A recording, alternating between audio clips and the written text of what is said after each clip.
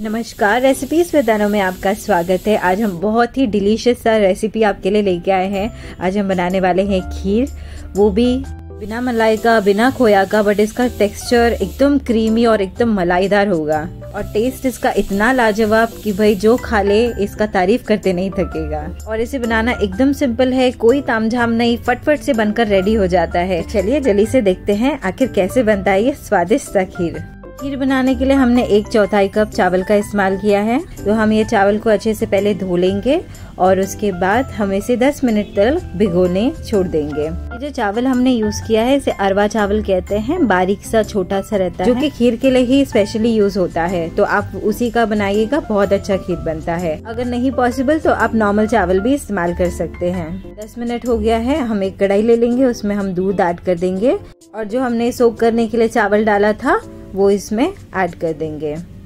तो सारा चावल को हमने दूध में डाल दिया है। उसके बाद हम दूध को चलाते हुए पकाएँगे। फ्लेम हम मीडियम टू हाई पर रखेंगे और इसे लगातार चलाते हुए पकाएँगे।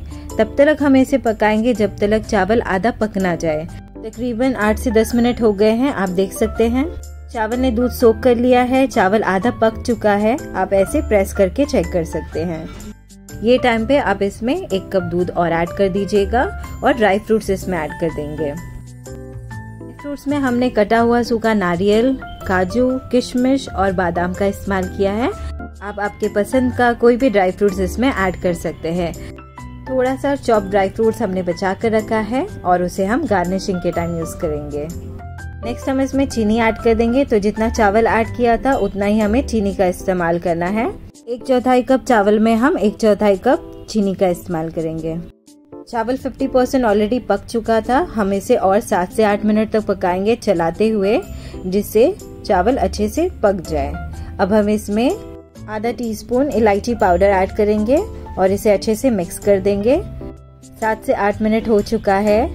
खीर हमारा ऑलमोस्ट बनकर रेडी है। हम इसमें थोड़ा सा केसर वाला दूध ऐड कर दिए हैं।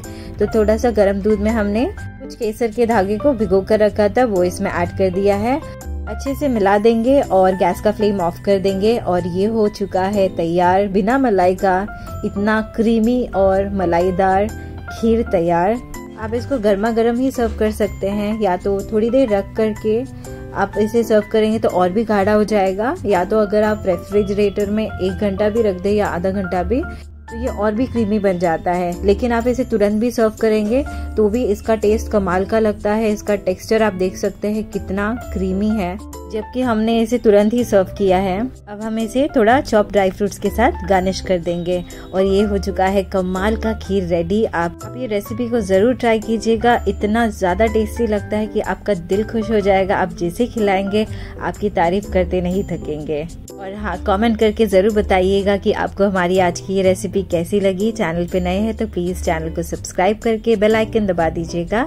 मिलते हैं एक नई रेसिपी के साथ। तब तक आप अपना और अपनों का ख्याल रखिएगा। Thank you for watching